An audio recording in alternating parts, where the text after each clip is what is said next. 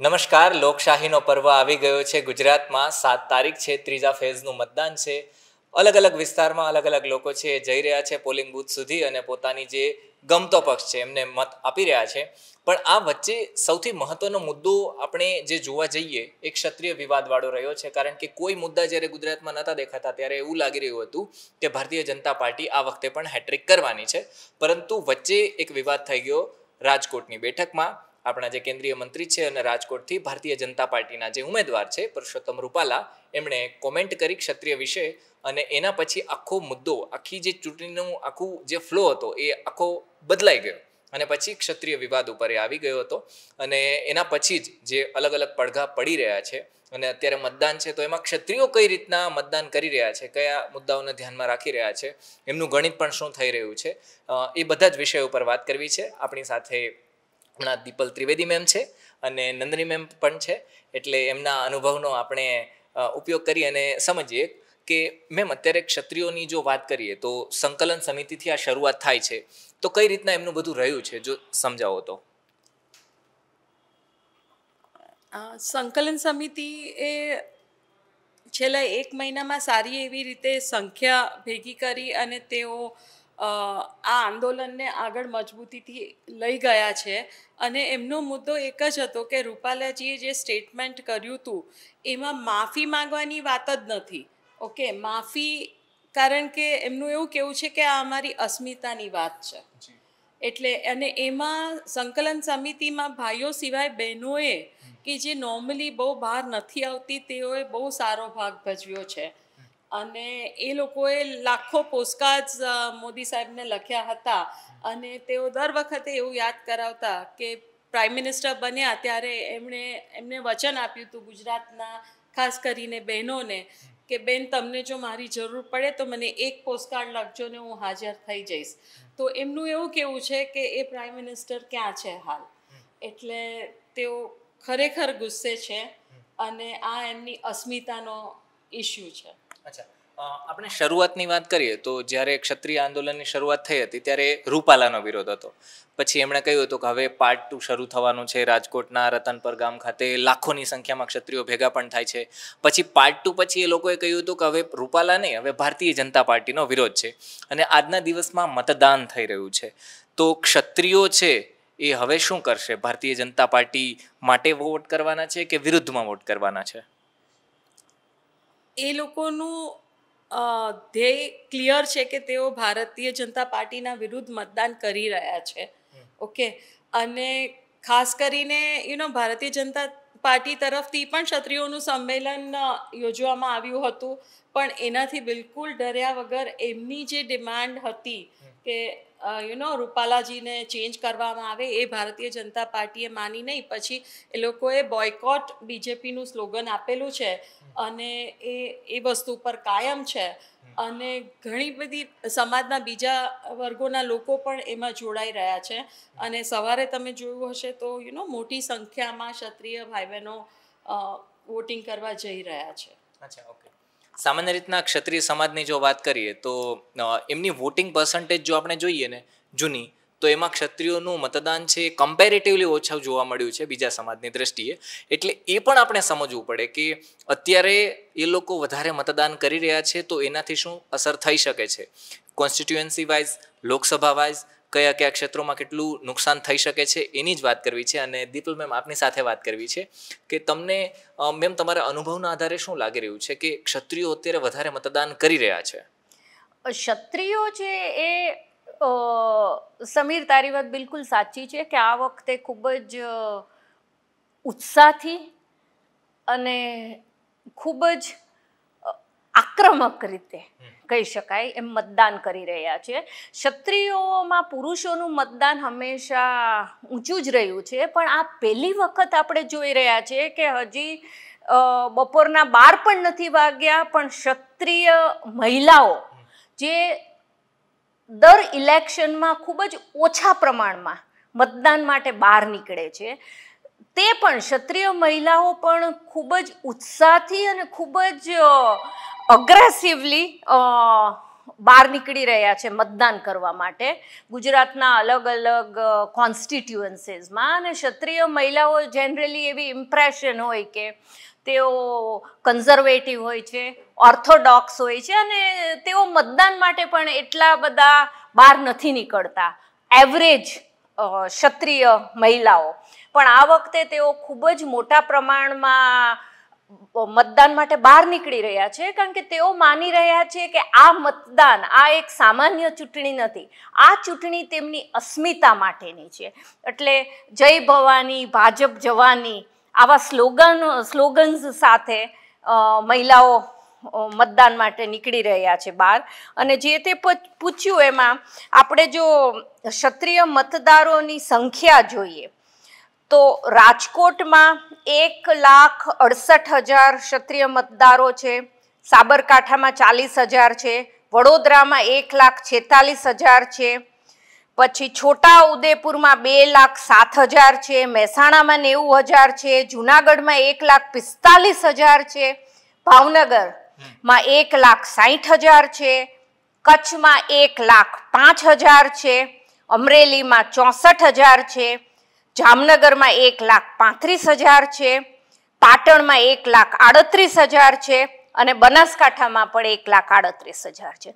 આ સિવાય આપણે જોઈએ તો આણંદમાં જંગી સંખ્યા છે ક્ષત્રિય મતદારોની, જે આપણે લાસ્ટ સેન્સસ પ્રમાણેનું જોઈએ તો રફલી આઠ લાખ છાસઠ હજાર મતદારો છે. એવી જ રીતે ખેડામાં નવ લાખ ઉપરાંત ઉમેદવારો છે, ક્ષત્રિયો. એટલે આ બહુ મોટી સંખ્યા કહેવાય. ખેડામાં પછી કચ્છમાં એક લાખ પાંચ હજાર, સુરેન્દ્રનગરમાં અરાઉન્ડ સવા બે લાખ જેટલા ક્ષત્રિય મતદારો છે. અને આ ક્ષત્રિય મતદારો પોતાની અસ્મિતા માટે, કારણ કે તેઓ માને છે કે જે પરસોત્તમ રૂપાલાએ તેમના માટે ઉચ્ચારણો કર્યા અને એ એમાં કોઈ અસંમત થઈ જ ના શકે કે પરસોત્તમભાઈ રૂપાલાના ઉચ્ચારણો એ ખાલી ક્ષત્રિય સમાજની મહિલાઓ નહીં, પણ જનરલ મહિલાઓ માટે એ ખૂબ જ ખરાબ ટેસ્ટમાં હતા. કોઈને કેવું કે રોટી બેટીનો વ્યવહાર. અને એ પછી પરસોત્તમભાઈએ બે વાર માફી માંગી, પણ જે અકડાઈથી માફી માંગી, તે ક્ષત્રિય સમાજ છે તેને સ્વીકાર્ય નહોતું. અને આ ક્ષત્રિય સમાજનું જે આંદોલન છે, એનું એક મને આઉટસ્ટેન્ડિંગ પાર્ટ એ લાગે છે કે આપણે ભૂતકાળમાં ઘણા આંદોલન જોયા છે. છેલ્લું આપણે આંદોલન જોયું તો પાટીદાર સમાજનું આંદોલન જોયું. અને આ આંદોલન અને પાટીદારના આંદોલનમાં ફરક એ છે કે આ જે ક્ષત્રિય સમાજનું આંદોલન ચાલી રહ્યું છે તે ખૂબ જ શિસ્તબદ્ધ રીતે ચાલી રહ્યું છે. આટલું મોટું રતનપરમાં જે તે સંમેલનની વાત કરી, પણ ત્યાં ટીટોડીના ઈંડાને પણ એ લોકોએ ડેમેજ ના કર્યા. એટલે અત્યાર સુધી જે એક મહિના ઉપરાંતથી આંદોલન ચાલી રહ્યું છે, પણ એક પણ જગ્યાએ પબ્લિક પ્રોપર્ટી કે પ્રાઇવેટ પ્રોપર્ટી ને કંઈ પણ નુકસાન પહોંચાડવામાં નથી આવ્યું. એટલે ખૂબ જ સભ્યતાથી, ખૂબ જ શિસ્તથી, ખૂબ જ રોયલ રીતે આ આંદોલન ચાલી રહ્યું છે. અને ક્ષત્રિય સમાજ છે એ ટ્રેડિશનલી આપણે જોઈએ તો જે ભાજપ સાથે રહ્યો છે. પણ ભાજપનો આપણે જો ઇતિહાસ જોઈએ અને એ ક્ષત્રિય સમાજની વાત ખોટી નથી કે ભાજપની સરકાર ગુજરાતમાં નાઇન્ટીન નાઇન્ટી ફાઇવથી તો અવિરત છે જ તે. શંકરસિંહ વાઘેલાના એક ટૂંક સમયના ફેઝ સિવાય શંકરસિંહ વાઘેલા સુરેશ મહેતા અને દિલીપ પરીખનો એક બ્રીફ પીરિયડ હતો. એ સિવાય ભાજપની જ સરકાર રહી છે.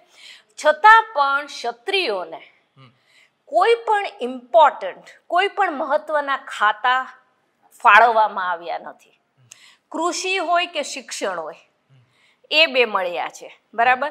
પણ આપણે જે છેલ્લી બે ત્રણ સરકારો જોઈએ, તો જે ભૂપેન્દ્રસિંહ ચુડાસમા હતા કે જે આઈ કે જાડેજા હતા ભાજપના, એ એમને પણ આરોગ્ય અને શિક્ષણ અને કૃષિ જેવા ખાતાઓ હતા. જે વિજય રૂપાણીની સરકાર હતી એમાં પ્રદીપસિંહ જાડેજા હતા પણ એમનો એ પણ કેબિનેટનો દરજ્જો નહોતો. અને આપણે જો એ કોંગ્રેસનો સમયગાળો જોઈએ તો કોંગ્રેસે હંમેશા ખૂબ જ મહત્વના ખાતા જેવા કે ગ્રહ ખાતું નાણાં ખાતું મનોહરસિંહ જાડેજા નાણાં પ્રધાન હતા. બરાબર? એ સિવાય ગ્રહ ખાતું. તો આવા ઇમ્પોર્ટન્ટ ખાતા. કે પછી ઇન્ડિપેન્ડન્ટ હોય મિનિસ્ટ્રી હોય. કે ત્યારે એ જમાનામાં નર્મદાનું સરદાર સરોવર પ્રોજેક્ટ ચાલી રહ્યો હતો. નર્મદા છે. તો એ ખાતું શક્તિસિંહ ગોહિલને આપવામાં આવેલું હતું. બરાબર? અને જ્યારે તેમની ઉંમર ત્રીસ વર્ષની પણ નહોતી. એટલે કોંગ્રેસ ક્ષત્રિયો એવું માને છે કે કોંગ્રેસે હંમેશા ક્ષત્રિયોને વધારે સાચવ્યા છે તેમને મહત્વના ખાતા આપ્યા છે. છતાં પણ ક્ષત્રિયો હંમેશા ભાજપની સાથે રહ્યા છે અને ભાજપે તેમની સાથે દગો કર્યો છે. કારણ કે ક્ષત્રિયો એ ભાજપની વિરોધમાં નહોતા આ વખતે પણ. તેઓ પરસોત્તમ રૂપાલાના ઉચ્ચારણો સામે તેમનો વિરોધ હતો અને તેમની ડિમાન્ડ ખૂબ જ સિમ્પલ હતી કે તમે પરસોત્તમભાઈની ટિકિટ પાછી લઈ પરસોત્તમ પરસોત્તમભાઈની પત્નીને આપો, તેમના દીકરાને આપો, બીજા કોઈને પણ આપો. પણ પરસોત્તમભાઈએ જે અમારા સમાજ પ્રત્યે ઉચ્ચારણો કર્યા છે, તો તમે એને માફ ના કરો. અને નવાઈની વાત એ છે કે એક ઉમેદવાર ને ના બદલીને ભાજપે આખા સમાજનો જે ગુસ્સો છે, તેમનું જે ફ્રસ્ટ્રેશન છે, તેને સ્વીકારી લીધું.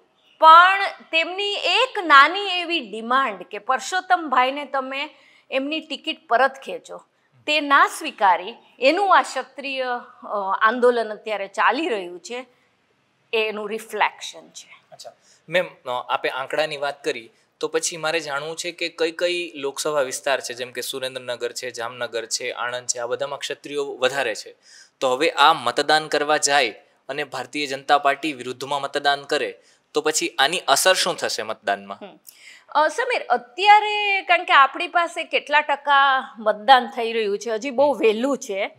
એટલે આપણે એ બૂથ વાઇઝ આપણે એ કોન્સ્ટિટ્યુઅન્સી વાઇઝ આંકડાઓ જોવા પડે પછી આપણને ખબર પડે. એટલે જો આપણા ત્રણમાંથી કોઈ પણ એમ કહે કે ભાઈ ક્ષત્રિયોએ મતદાન કર્યું એટલે હવે ભાજપ હારી જશે. તો એ મને અત્યારે એવું કેવું એ યોગ્ય નથી લાગી રહ્યું. એ આપણું નિષ્પક્ષ પત્રકારત્વ આપણે ના કહી શકાય. કારણ કે અત્યારે સેજ વહેલું છે એની માટે. પણ જેમ તે સાચી રીતે માર્ક કર્યું તેમ સુરેન્દ્રનગર જામનગર. બરાબર? અને ભાવનગર. આ ત્રણ અત્યારે આપણે જોવા જઈએ પ્રાઇમરીલી કચ્છ પણ આવી શકે. આમાં જે ક્ષત્રિયો છે એની વસ્તી છે એ સારા પ્રમાણમાં છે. અને એ લોકો ઇન્ફ્લુએન્સ કરી શકે. પરસોત્તમ રૂપાલા છે એ રાજકોટથી કોન્ટેસ્ટ કરી રહ્યા છે અને મૂળ વાંધો પરસોત્તમભાઈ સામે છે. પણ આપણે જો ક્ષત્રિયોની સંખ્યા રાજકોટ લોકસભા ક્ષેત્રમાં જોઈએ તો તેટલી ઇમ્પ્રેસિવ નથી. બરાબર? રાજકોટની સંખ્યા આપણે છે. એટલી પણ નહોતી. કેટલી હતી? હા, એક લાખ અડસઠ હજાર છે. એટલે ત્યાં લેવું લેવવા પટેલ. અને કડવા પટેલની સંખ્યા વધારે છે. અને ઓફકોર્સ આખા ગુજરાતમાં રાજપૂતોની જે પોપ્યુલેશન છે એ પાટીદોર, પાટીદારોના કમ્પેરિઝનમાં ખૂબ જ ઓછી છે. પણ અસર ડાયરેક્ટ મતદાનની અસર એ ભાજપના ઉમેદવારની હારમાં પરિણામ થઈ શકે તેવું કેવું તે અત્યારે થોડુંક અયોગ્ય લાગે છે મને. કારણ કે આપણે ફિગર્સ જોવા પડે. અને આમ આપણે આખા ફિગર્સ જોઈએ તો જો ક્ષત્રિયો છે આપણે કહી રહ્યા છીએ કે ખૂબ જ મોટા પ્રમાણમાં મતદાન કરી રહ્યા છે પણ આપણને હજી એક્ઝેક્ટ ફિગર ખબર નથી. બિલકુલ. અત્યારે તો ફોટો અને વીડિયો જે પ્રમાણે આવી રહ્યા છે એ મુજબ પણ પહેલાની ચૂંટણીઓના પ્રમાણમાં તેઓ ખૂબ જ મોટા પ્રમાણમાં મતદાન માટે બહાર નીકળી રહ્યા છે. Thank you so much ma'am કે આપે એનાલિસિસ કર્યું. Thank you so much Nandini ma'am કે તમે જણાવ્યું કઈ રીતના છે એ બધું અત્યારે ચાલી રહ્યું છે. આવી જ લોકસભાની અપડેટ માટે જોતા રહો વાઇબ્સ ઓફ ઇન્ડિયા ધન્યવાદ.